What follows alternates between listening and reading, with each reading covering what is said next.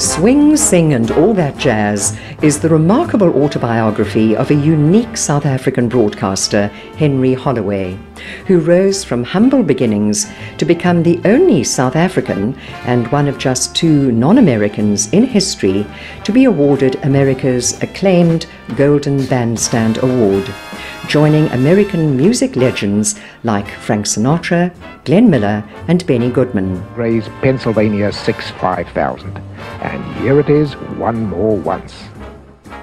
This personal account takes the reader through more than 40 years of Henry's broadcasting the music of the Golden Age and includes intimate details of his friendships with these extraordinary musicians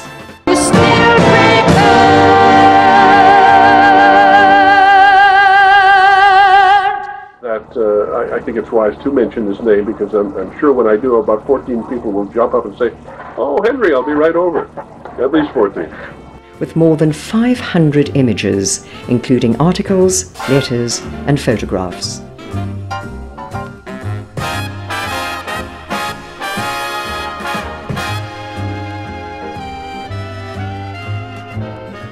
Starting with the clothes, my style shows Q U I L T. Let's make comparison.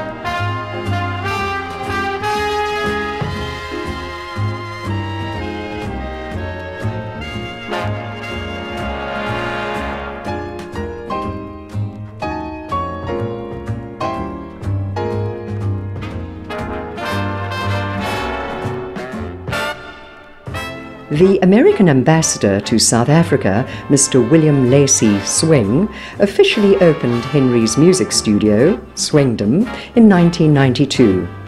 A bronze plaque was made to cement into the wall at the entrance to the studio.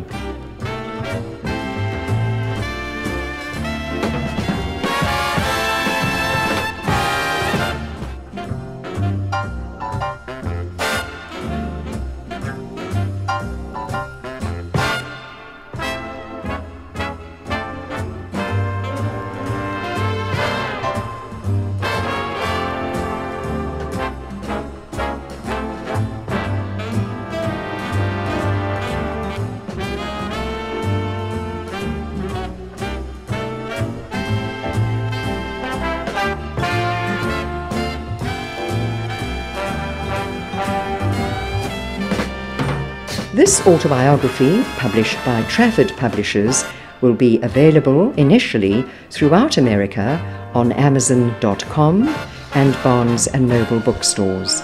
It's planned to market the book on similar networks worldwide.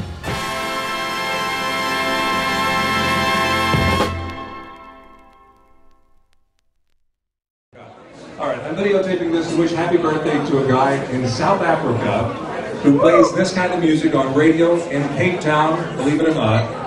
And today is his 80th birthday. He's got a special program celebrating his 40 years in radio. And if you go to my Facebook page tonight, I'll put up a thing about that. Anyway, happy birthday to Henry Holloway. This is for you. One, two!